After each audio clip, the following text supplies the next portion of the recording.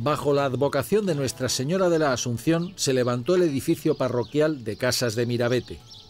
De acuerdo con una inscripción de la torre, se terminó de construir en 1669, habiéndose utilizado para ello fundamentalmente aparejo irregular de pizarra y de cuarcita del lugar. La última restauración fue en 1995, aunque después de la guerra civil se remodeló toda la fachada dado su estado ruinoso. Por tres puertas se accedía al interior del templo.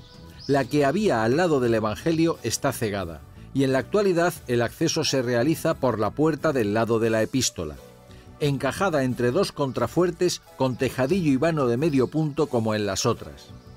La puerta de los pies de la iglesia solo se abre en las grandes solemnidades.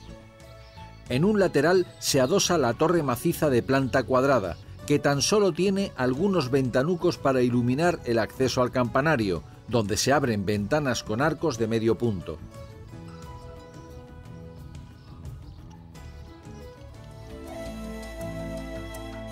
El interior es de una sola nave, desarrollada con la ayuda de arcos de medio punto apoyados sobre pilares salientes en número de media docena por cada lado. El presbiterio poligonal queda separado de la nave por un arco de la misma factura. La sacristía es la base de la torre. El coro ha desaparecido en una remodelación por estar en estado ruinoso. El retablo mayor es reciente, al igual que la mayoría de las imágenes que pueblan la iglesia, excepto dos, un Cristo crucificado y una Virgen, ambas de excelente factura. La imagen de la Virgen, posiblemente del siglo XV, es una talla policromada que representa a la Virgen sedente con el niño Jesús vuelto ligeramente hacia su madre. Esta imagen y la del Cristo crucificado fueron preservadas de la destrucción y saqueo de los franceses en la Guerra de la Independencia al ser escondidas por un feligrés.